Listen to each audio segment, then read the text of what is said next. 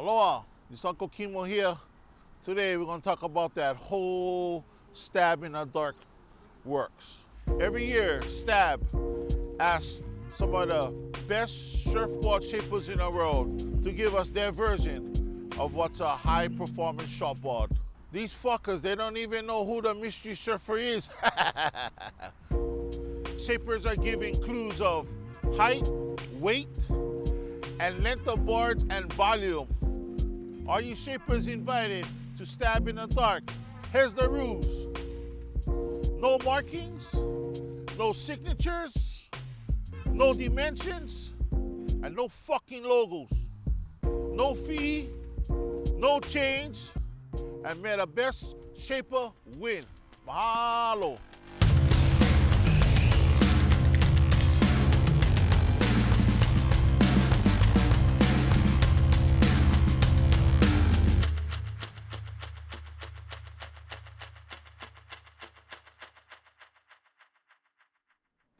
On this episode, Wade Tokoro, Matt Biolos, Eric Arakawa, Marcio Zouvi, and James Cheal.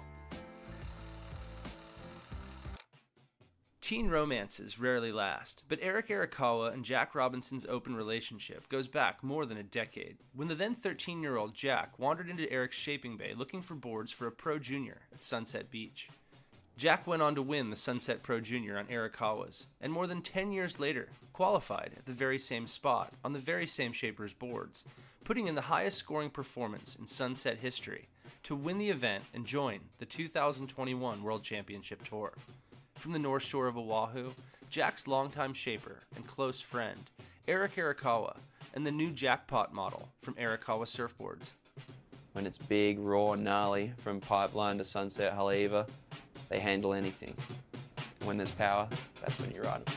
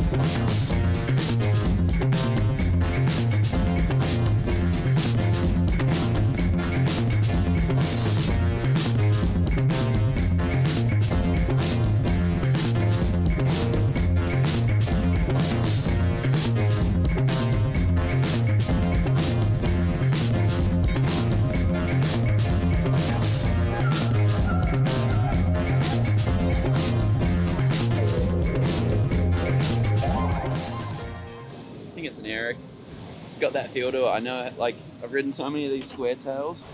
I feel like it needs a little bit of power. Feels like it'd be a little heavy or like a little solid if it's too small, the waves. I feel like it's better when it's like proper size. A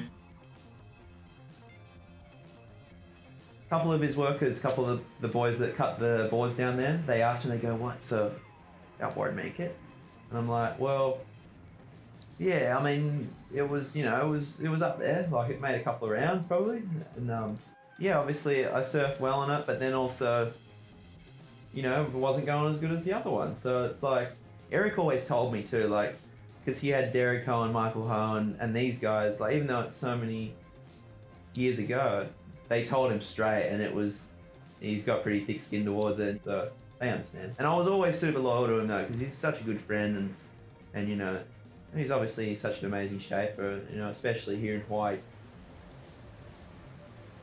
Wade Tokoro might be the least self promotional shaper on the planet, and certainly the most underground craftsman to regularly build boards for Kelly Slater, who rides Tokoros almost exclusively in Hawaii.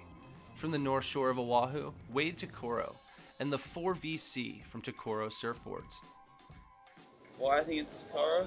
I don't know. It's kind of easy to tell. I feel like, especially with the tail, like, like or any Hawaiian shaper that's like one of the really good ones. You can tell the boards are a little different. The outlines definitely they're kind of a longer line and a short board. I feel like they're masters, the shapers here. So that's why I don't know. It definitely shows when you pick it up. You kind of feel like, oh, there, this board's really, really sharp.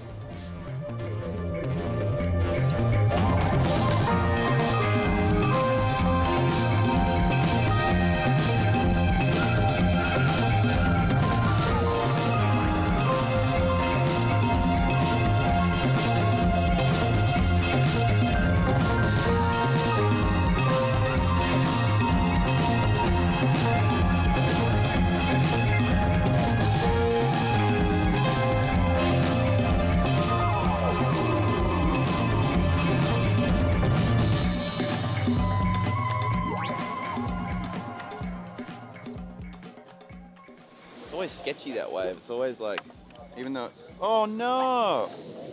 That did break. Heavy. Oh, this one's a good board. Must have happened on that wave. I just bailed on it. But so annoying. Even out here, like right now, there's too much backlash. You do a turn, you just get throttled. I feel like you're gonna break your ankle or something. I don't even know how it happened. I think I was maybe bailing or an air off the back of the wave, but that actually felt like a good board, and I only got to get a little barrel and do a turn on it. Maybe it wasn't a good board. It broke straight away. I don't know. It looked really nice though.